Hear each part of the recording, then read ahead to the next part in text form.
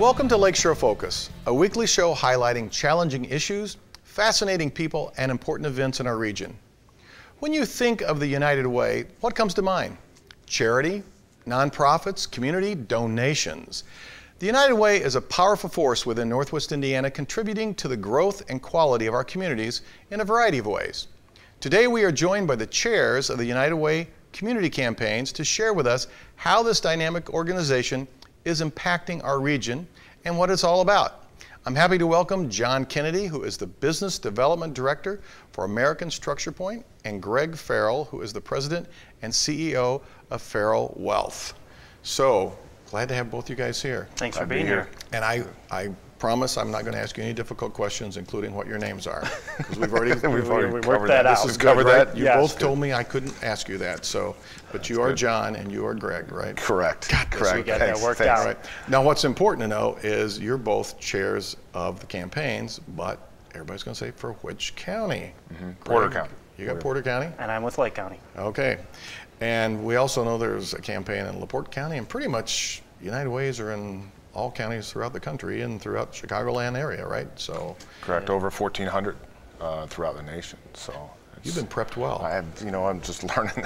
You're- it's, it's, it's the volunteers from the Porter County group that helped me out so much. They've definitely. And that's why they're in the help. studio keeping an Yes, eye on both of you Right today, over there. right? Yes, yes, they are. They are watching over you. Yes, sir. I know. I, I thought that you guys, I thought they were bodyguards at first, but I'm now realizing that they're here to make sure you don't screw up. Mm-hmm. Pretty much. correct. That is That correct. Okay, Exactly. this, this is good.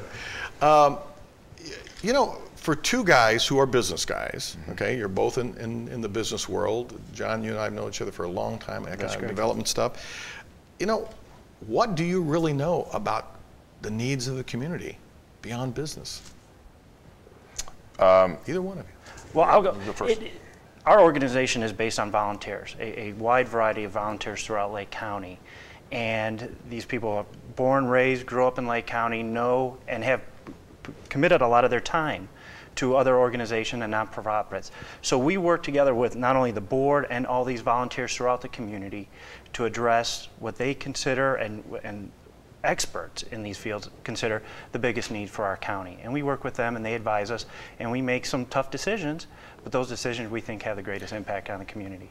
That's a really good answer because you- you're saying this is much bigger than just you two, but it still begs the question. You guys got asked to be chair, so surely you know everything about what's going on in the community. Uh, you, you, it's, it's impossible to know everything, but you, it's very easy to see that there's a need.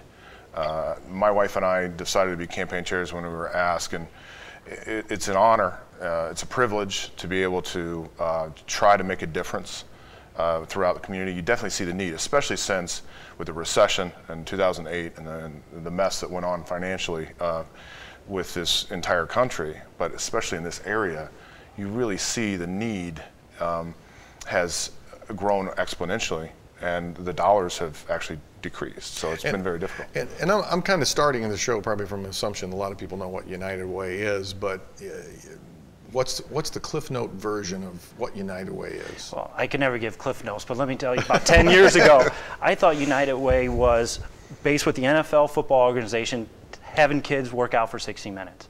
That's what I, 10 years ago I thought United Way was. Now that I, I've been with United Way for over about five years now, and now the campaign chair, I realize that we are a synergy in Lake County for resources, uh, funding, volunteers, and all sorts. I, I don't want Lake County, uh, United Way to be all, always considered with donations and money. It's about getting people out there to volunteer to help their community, not only the community, but their next door neighbor if they need it. To have those resources available, handily, and easy to get to, that's what United Way is all So about. when you talk about funding things in the community, uh, you fund. What do you talk about needs? Because you're not funding Pop Warner football, right? No, you're funding agencies that basically apply for the dollars that come about. And in Porter County, uh, we're 1.8 million overall. So you have 38 agencies that actually apply for that money, and then it's These might be called social service agencies or. Correct, and they're, they fall they fall in three different sort of uh, silos. So you have anything that deals with finance and getting a family back up on their feet financially, uh, education, and anything that might have to do with let's say kids programs, Boys and Girls Club, and whatnot, um, and then health. So then those three silos, if you are a nonprofit inside of any of those three, um, the United Way will, will fund those. So in, we have 31 in Porter County and Lake has 30, well, we have 38, they have 31. So that's what I like about it. Wait, Lake County's bigger. How come you have 31 and you have 38? I, I'm confused.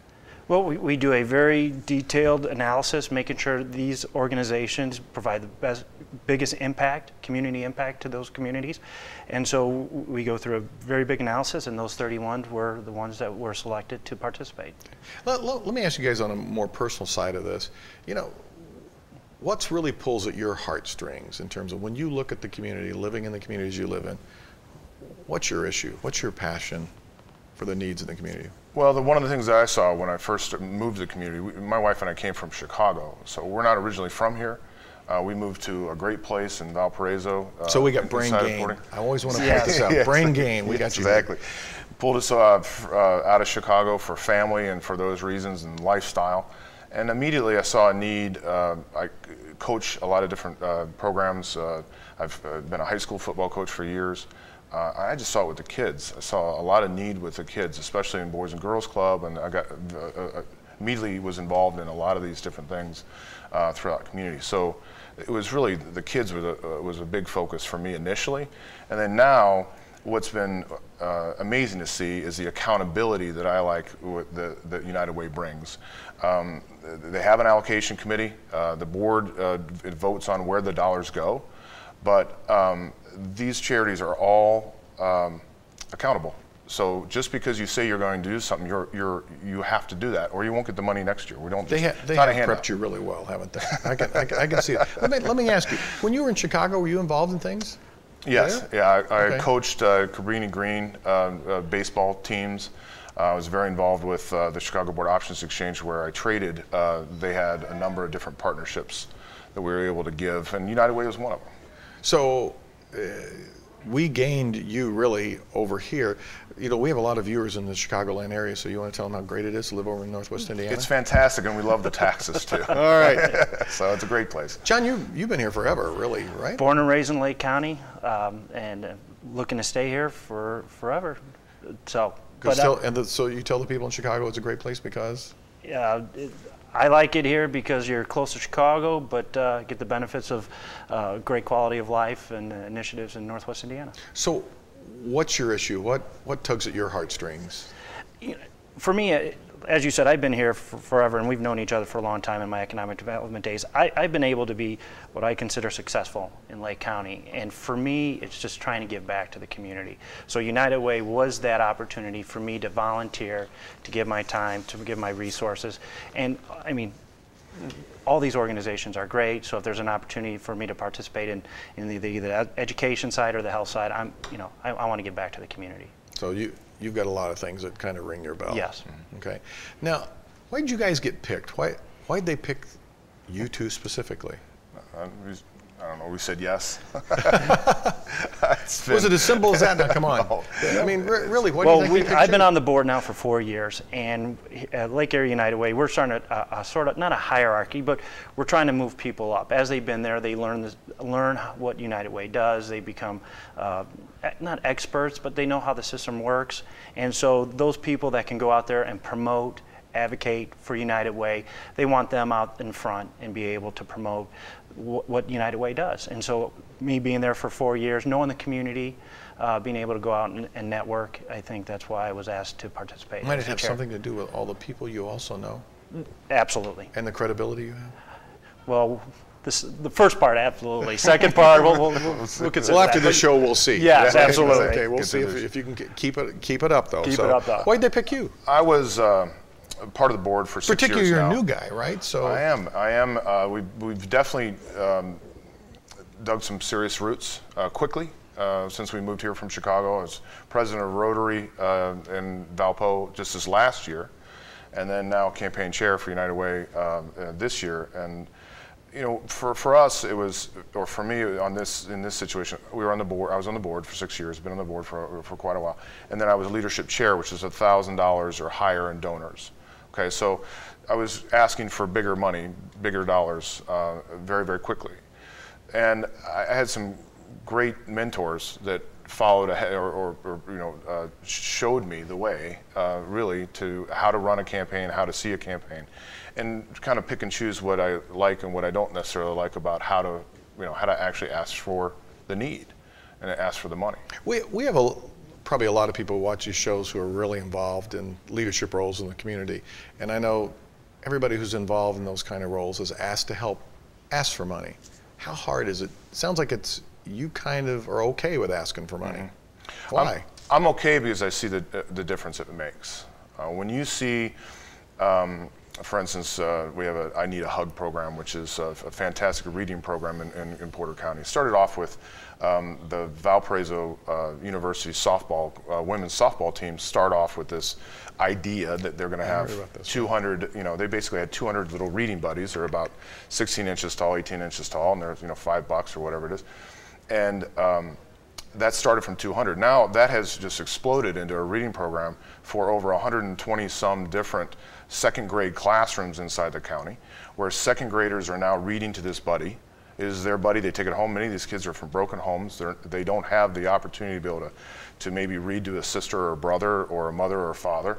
So that their buddy becomes a really close friend. And then they get to read uh, to that throughout the year and wow. then get to take the, that buddy home at the end of the year. When you see things like that, it's really easy to ask for to money. walk up and say, "We need money we to support money. this." Program. It would never happen, and especially with the fact that 90% of all the dollars that come through in Porter County and most United Ways, all that money goes right back in the community. So, can you ask Locally. for money? Yes, for this cause. For this cause, it's very easy, and and one of the biggest reasons. My father was in the banking business for 40 years, and he always talked about being financially sound, and that's what like or the United Ways are the money comes in, the resources come in, and you have a wide variety of board members that are very stewards, are big stewards and individuals in the community. And we make sure that money is going to organizations that make the biggest impact. So I can tell someone honest, or look them in the face and say, 85 to 90 percent of your money is going to the organizations that need, that are making the greatest impact uh, on the community. And it's easy to say it, so it's easy to ask. So what are you doing on my other 10 or 15 percent? Well, we have to get out and market we got to market for the resource. We got to get the volunteers out there. We got to do the promos to, to let everyone know that the United Way is out there making great impact in the community. I will say most charities, on average, uh, it's about 35 percent of those dollars don't even make it back in the community. So to be able to, to be able to have the opportunity to have maybe 10 or even seven uh, as you narrow that down. But you have to pay the salaries of the people inside the community. You know, the, I mean, the, the, volunteers and, and then ultimately the employees of the United Way inside each county, they do a ton of work and they work very, very hard. And, and, and, that's what I want to say. I know it's more than the, the marketing piece. There's the United Ways do a lot of looking at the needs in the community. For, before I ask you a little bit more about those, you know, and I won't tell anybody what you said, even if we got people watching. Are the staff any good, really? I mean, like TJ and Melissa and, you know, Lou, and Sharon. I mean, they're very good. They're very good. They're excellent. They paid you to say that, right? We are on TV. Okay, that's okay. So we are being recorded. so, yeah. so they're going to be watching this and seeing if you did a good job. They are terrific people.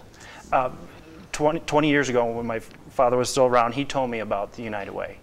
And he told me about Lou Martinez back in that. And he goes, John, you got to be a part of this organization, just not only by, because of leadership, because of what they did. So 20 years ago, my father already knew how great United Way is. 20 years later, they're still great. And, and I know because we see those staff people out at all kinds of things, doing things. They really are in touch with the needs of the community. Wouldn't you say that's true? Absolutely, and they're in touch with all different agencies. Um, so not only are they helping the agency that might not necessarily be a part of United Way yet, but they're also helping that agency go through a process that maybe they might qualify next year for the allocations. But the reason that my wife and I got involved with United Way, I like it so much, is one because of the accountability. Um, they make these charities accountable. There is a process, just like you spoke about, um, and they make them jump through hurdles, uh, jump over, you know, over hurdles. Uh, so you know when you give your money, you've got a group who are really saying we are putting that money into organizations who are doing something. Correct. And, and as Greg said, allocations. Allocation is how we, we split up the resources to these organizations. When I first came on the board, my responsibility, and I think they do that for all new members of the, the board, is to go out to these organizations and see what they do. So I had a hands-on experience to see what they're trying to accomplish, how they're accomplishing it, and how our money is being used to, to do it. So for two, four years almost, I've been going out every year, going through the allocation process, meeting with the directors of the programs, and seeing the kind of impact they make. So these board members are doing that, like you said, you know, uh, not only during the workday, but they're doing it after hours. So That's a I mean, rewarding experience. It really is. I've It- it makes you feel day great. caring, uh, the day of caring is, is really something that's phenomenal. Uh, when you have 2,000 volunteers to go out into different uh, charities to paint a fence, to uh, mow a lawn, to you name it, these charities, and they need that. Um, we were at a, a Boys and Girls Club uh, just north of here, and there were four different organizations and 70 different volunteers, painting to uh, fixing electricity, uh, the electrical outlets to be able to make sure that this place was cleaned up. And the head of that uh, uh, Boys and Girls Club said this is like Christmas to him because they shut the place down and then they have all these people come in, and it's just a phenomenal um, experience when you see how the community comes together and, and whatnot. Now, you guys are shooting for 1.8 million, but you don't have really a specific goal this year. What's that about? Because you you guys are 5 million, right? We did five million last year. This Okay. year, we haven't set a goal amount. We want to get away from, you know, we're shooting for a dollar amount. It's not only about money. Yes, money helps these organizations, but we also want to get people out there to volunteer to have that feel good, have that good feeling. You know, I did something for my neighbor. I did something for the community. You know, people enjoy that just as well as giving money.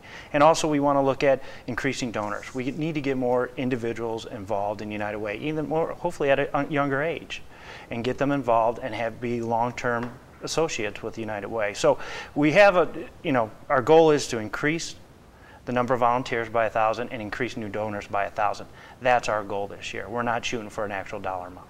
We just want to get more people to participate. So how, how many people are giving to United Way? Do you know that number kind of right off? You know, If you're trying to go a thousand more, oh, that's I do not have that information. I Okay. don't know. Uh, it would be tough to as far as the overall number coming because there's so many people as far as tracking too where they might be coming from a campaign where they might have been from Porter County at one time and they give for that reason. Tracking those are almost impossible especially when you go through the campaigns let's say in Chicago. You might work in Chicago. You might live in Porter County. You want your dollars to go back and, and they do. Um, but tracking that would be extremely difficult and and I know that's a hard question because I know that's a Yeah, hard question tough. for staff to even track all the people who, who volunteer and everything. L- let me ask a question. Kind of uh, today we have so much controversy about the role of government and so forth, and let's kind of maybe talk government versus church versus United Way role, where people will say, how does how does that sit? I mean, everybody's saying, you know, you know, government shouldn't be doing any of this stuff. It should be the churches and things like United Way. Is that can they really handle all this? Five million doesn't really sound like a lot of money for all the need out there. 1.8 million. When you say like the United Way should handle, I mean we we we, we promote, we try to get as much resources as possible, and then we we we give it to the organizations that have the greatest impact. Is five million enough? No. Would it be 10 million be enough? Probably not. But we do the best we can to get as much resources in to help those communities. You guys work closely with LaPorte County, and actually, the United Ways all seem to work together here. And actually, you work together with the community foundations too. What's all this cooperation about? All I mean, that's not always been there. Well, sometimes you find uh, things that actually fit really, really well for not just a county, but the entire region. Um, for instance, Success by Six, which is a program that teaches kids to be able to make sure they're able to read because kids that can read by six years old exponentially do better in school for the rest of their lives.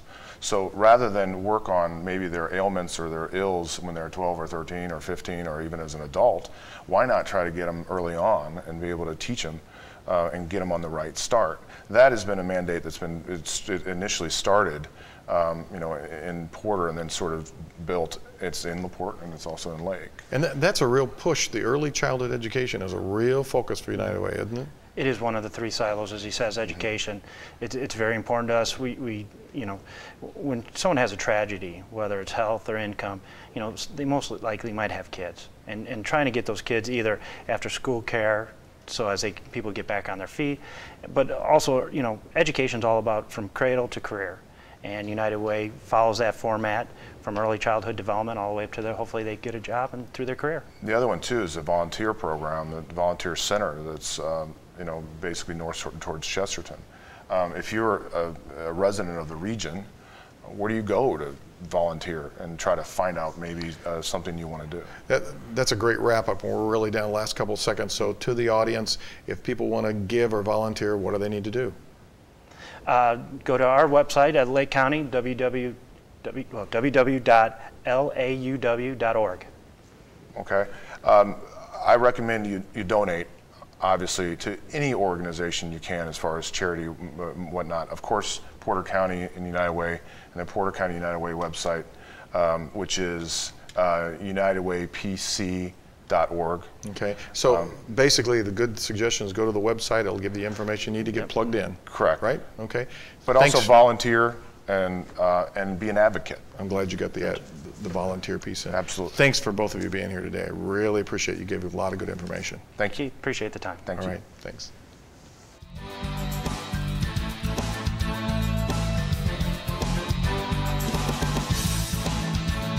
In previous editorials, I've lauded the efforts of the thousands of volunteers who are in the trenches day after day serving lunches, supervising children, painting houses, driving vans, preparing food, handing out programs, and more. Today I want to focus on a second or next level of volunteers who serve another purpose. They are the people who are active on boards, committees, and teams, setting direction, creating policy, and monitoring the progress of countless nonprofit organizations and groups which serve our communities and the people who live there. What these people do is not glamorous or even heartwarming. It requires their time to review documents, sit through meetings, write procedures, read reports, analyze financial statements, talk about difficult issues, and make hard decisions. They have to donate money, ask for money, collect money, and count it. They have to urge people to participate, motivate others to volunteer, and talk people into doing things that they are not reluctant to do. This is not exciting stuff, but it must be done for an organization to carry out its mission. You may believe that the people who sit on these boards often do it as part of their job. Really? I know many of them, and most do not get paid to take on these responsibilities. They are add ons to their jobs or they're worked into their daily routine. In exchange for their time volunteered, they have to arrive at work early, sacrifice lunchtime, stay late after work, or sit on the couch at home and finish their work. It's all blended into what they do and who they are. We should take the time to appreciate those who volunteer their time, treasures, and talents to make our communities better places. Yes, there is a good feeling that can accompany this type of work, but it's not the same as directly seeing a child smile, hearing a thank you for food, or being hugged by a grateful parent. Yet without this effort behind the scenes and at this next level, the rest of it might not happen. Thanks for watching Lakeshore Focus. Do you know some of the people I'm talking about? Are you one of them? Have you lately appreciated what they do?